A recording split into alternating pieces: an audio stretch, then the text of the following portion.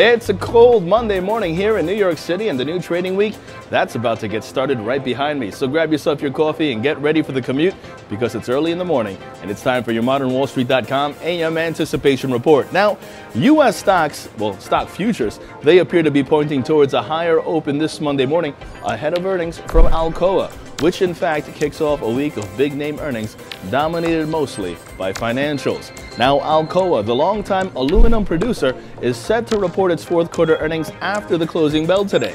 Now, in terms of data, the week does get off to a very quiet start as the Federal Reserve's December Composite Labor Market Conditions Index, that's the only thing that's out today. Meanwhile, France, still recovering from last week's terrorist attacks in Paris, around 3.7 million people, including world leaders as well as statesmen, joined the mass rally in Paris on Sunday to remember the 17 victims of three separate attacks last week.